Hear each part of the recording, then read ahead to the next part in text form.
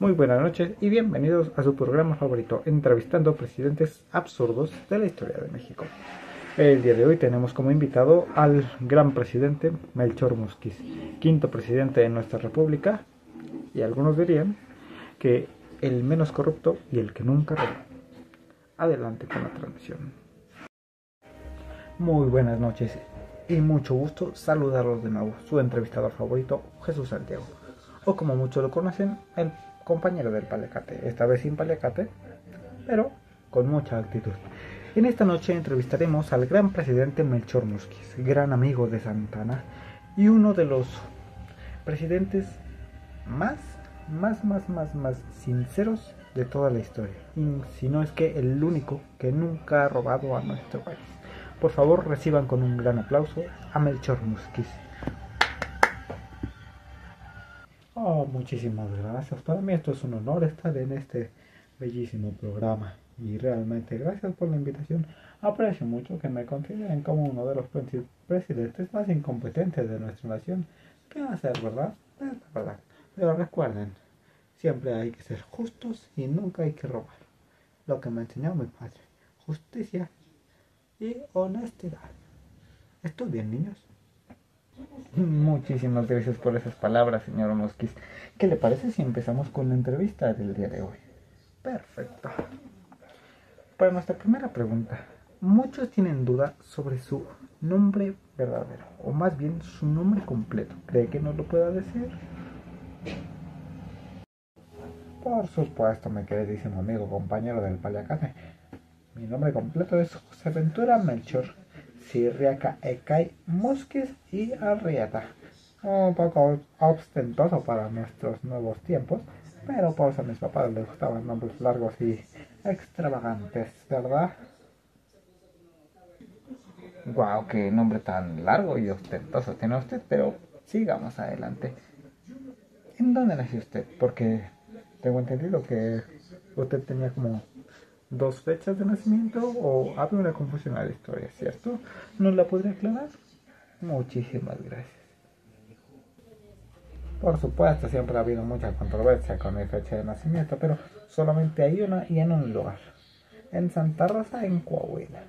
El 5 de enero de 1790. No por nada me llamo Melchor. El día de los Reyes Magos. 5 de enero. Ya sabe cómo es mi familia y sus cosas raras de los nombres ostentosos y las fechas especiales, ¿verdad?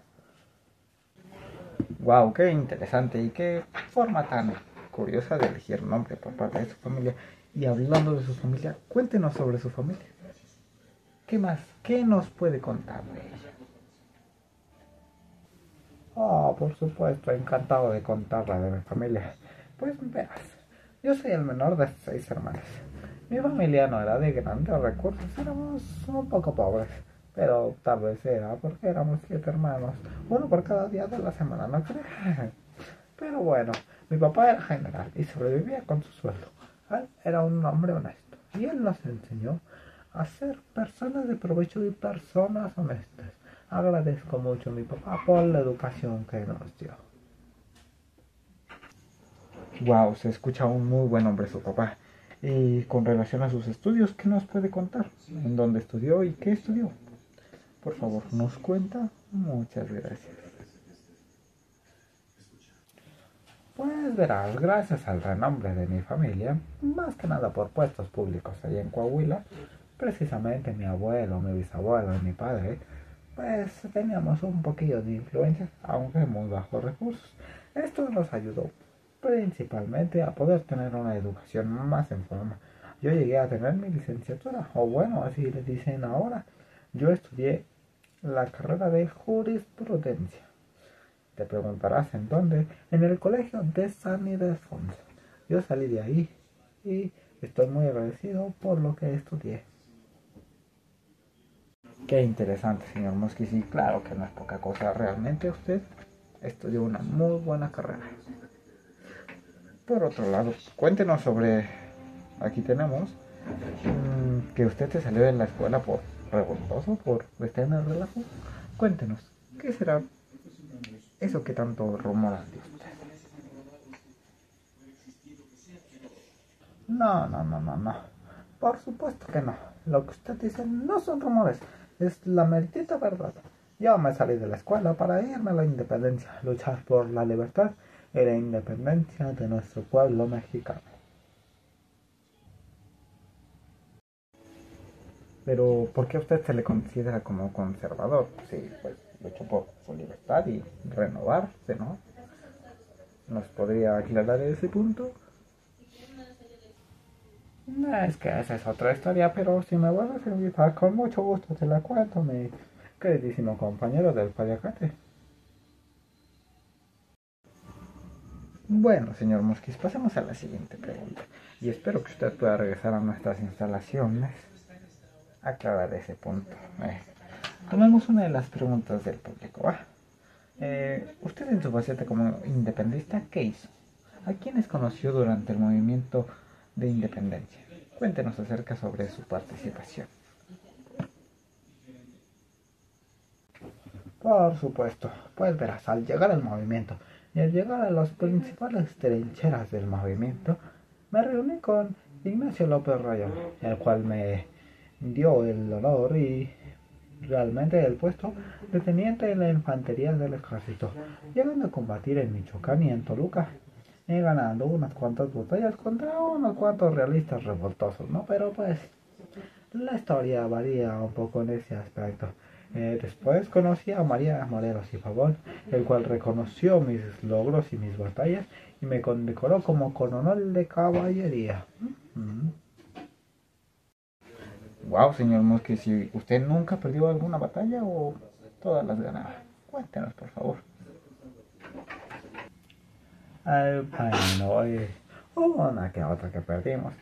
Una en Michoacán, en donde perdimos el fuerte de San Diego de Acapulco, y con ello capturaron a Mariano Matamoros y le dieron cuello, ¿no? Mi compadre murió, eh, y tiempecitos después agarraron al Chemita Morelos, que por cierto, compañero del de usted se parece mucho a él. Ah, es verdad, ya mencioné que eh, me gusta mucho el jazz y el vudú. Ey, pero para aclarar ese punto, él me copió el estilo del paliacate y no yo a él. Pero, ¿qué? ¿El jazz y el vudú? ¿En dónde lo conoció? ¿Por qué no nos cuenta dónde tuvo este acercamiento con esta cultura tan mística y hermosa como es el?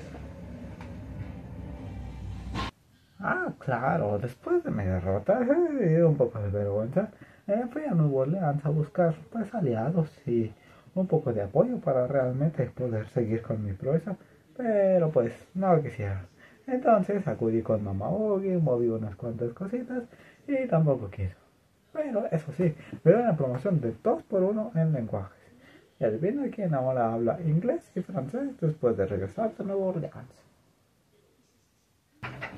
Wow, qué gran historia y qué bilingüe es usted, señor Mosquis. ¿Y por qué ahora no nos cuenta cómo fue su inicio en la política? ¿Cuándo entró al poder o cuándo se empezó a meter en todo este rollo de politiquería que ahora llamamos? Claro, claro, el inicio de mi gobierno, eh, en 1824, fungí como gobernador del recién creado en ese entonces el Estado de México. Bueno, actualmente y hacen las licuachelas y las torpochelas, pero... Eh, esa es otra historia. Y tiempo después volví a ejercer ese poder de gobernador en 1830 del mismo estado. Sería un gusto ir con usted a los tianguis y recorrer todo eso de las eh, eh, de cuachalas que dicen por ahí los chavos. Wow, señor Mosquis. Por supuesto que deberíamos ir algún día por esas licuachelas que usted dice, pero pues yo me quedé más intrigado ¿En qué año y cómo fue que usted entró al poder? Además, precisamente a ser presidente de nuestro país. Cuéntenos, por favor. Ah, por supuesto. La forma en la que yo entré al poder fue algo chistosa. Allá en 1832, eh, cuando Bustamante se va a agarrar de cates con mi gran amigo Santana, me dejaron a cargo del puesto presidencial de la República Mexicana el 14 de agosto de 1832, por supuesto. Fue un gran favor que le hice a mi amigo Bustamante. Qué gran hombre es usted, señor Mosquis. Realmente apoyar a un amigo así es muy, muy, muy bien visto.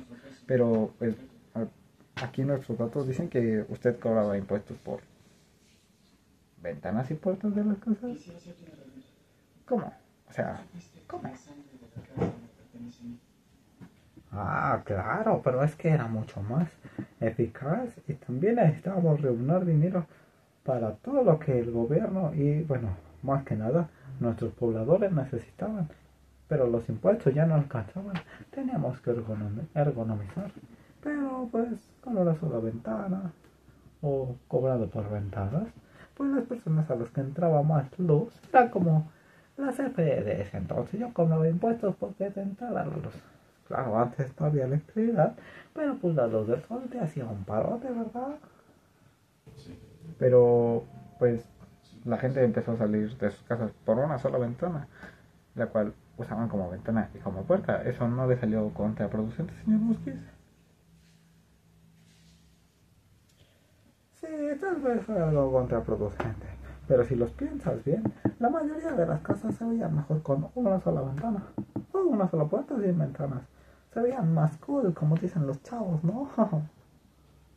ok, señor Mosquís. Eh, hablando de cosas absurdas, eh, ¿por qué usted reforzó un cuarto lleno de monedas? ¿Tenía miedo que se lo robaran o...? Bueno, no, no, no. ¿Por qué tenía un cuarto lleno de monedas, señor Mosquís? Cuéntenos, cuéntenos. Oh, para que veas, pues ahí no hay nada de absurdo. Bueno, aunque no lo dices sí, sí, sí, suena algo absurdo. Pero en ese cuarto yo ganaba, yo guardaba todas las finanzas del pueblo, todos los impuestos, cada moneda, cada centavo, cada cheque, todo yo guardaba ahí. Yo era el único administrador de todo el tesoro que se conservaba de los impuestos de cada ciudadano. Eh, wow, señor Mosquis, realmente el rumor de que usted nunca robó es muy cierto, señor Mosquis, y le agradezco por eso. Sí, sí, sí, como ya lo mencionaba, mi padre me enseñó esos valores. Y bueno, también eso mismo me dio un poco de los privilegios de poder fundar bases para la administración pública de nuestro país. Es algo de lo que sí estoy orgulloso. Wow, señor Musquiz, esto se está poniendo realmente muy interesante. Y cuéntenos, ¿qué más hizo en su mandato? ¿Cuáles son todos esos aspectos que no sabemos? Cuéntenos, ¿qué más ha hecho en esos momentos en los que usted estuvo al poder. Pues verás, otra de mis grandes hazañas en el gobierno fue renunciar, aunque curiosamente eh, me despidieron por eso. Y eso es algo chistoso porque al presentar mi renuncia lo rechazaron. Pero eso mismo hizo que me cambiaran por Manuel Gómez Pedraza en el plan de Zabaleta. Eh, ok, señor Muskis, pero pues cuéntenos, acabo de notar que su traje está un poco... Eh, un poco descuidado. Cuéntenos, cuéntenos. ¿Por qué es que su traje está tan... Perdón si lo ofendí, pero tan feo? Cuéntenos. Uh, ok, no se preocupe, no me ofendo. Pues en principio porque no tengo dinero para arreglarlo. De hecho, hace mucho tiempo me encontré a mi compadre Santana, el cual me dijo lo mismo que usted me acaba de decir y me aprendió porque me dijo que este no era el estado del traje de un general del gobierno. Pero pues no hay dinero para arreglarlo. La política no paga muy bien, o bueno, al menos no cuando no robas. Ok, señor Mosquito, pues, no sabía que usted no tenía dinero. Eh, entonces cuéntenos de qué es lo que vive, si no roba impuestos, ni, bueno, nunca robó impuestos. ¿Y cómo es que sobrevive usted? Cuéntenos, señor Mosquiz. Ah, pues vivo de mi pensión, de mi participación en la milicia y como general. Ay, bueno, de mi tarjeta de Inafam, pero eso es porque ya soy mayor de edad, ¿verdad? Pero pues tampoco alcanza, dos pensiones, eh, no es mucho para una persona. Bueno, tan sencilla como yo, ¿verdad? Muy buena información, señor Mosquis. ¿Y qué hizo después de, de estar en el poder, de estar en la presidencia de México? ¿Qué fue de usted después de ser presidente? Cuéntenos, por favor. Ah, pues verás, el 24 de diciembre de allá de 1832 eh, me enteré de mi reemplazo. Entonces, tranquilamente salí por la puerta, la puerta principal del Palacio Nacional y como tuve un pequeño, un pequeño desliz con Pedraza, eh, me degradó de rango y pues obvio que mi pensión disminuyó, pero no se preocupe. Eh, luego mi gran amigo Santana al proclamar las siete leyes conservadoras y al enunciarme a mí como uno de los principales eh, promovedores del movimiento centralista y conservador, me regresaron mi rango. Pero, señor Mosquis, ¿usted no era liberal? Eh, por supuesto, liberalmente conservador. Ah, claro, claro, señor Mosquis. Eh, pasemos a la siguiente pregunta. Díganos, ¿cómo era su amistad con Antonio López de Santana? ¿Realmente eran tan amigos? Cuéntenos.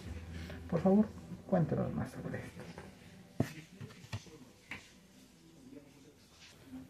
Ay, mi gran amigo, Antonio López de Santana. Pues verás, somos tan amigos que cada una de las siete leyes conservadoras es por cada uno de mis siete hijos. Sí, sí. Wow, usted tuvo siete hijos, no lo sabía, pero cuéntenos de sus pequeñas. ¿Qué nos puede decir de su familia? O más bien, de la familia que usted creó.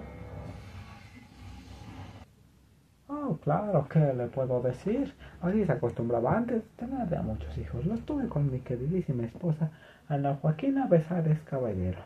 Tuve a mis siete pequeños retoños. a Clas, a Josefa, a Dolores de Cabeza, a Conchita, al pequeño Melchor, a Julio y a Leandro. Wow, señor Mosquito.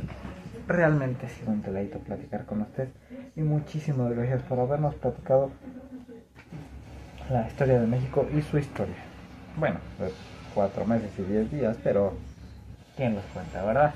Muchas gracias por habernos compartido un pedazo de la historia de México con nosotros.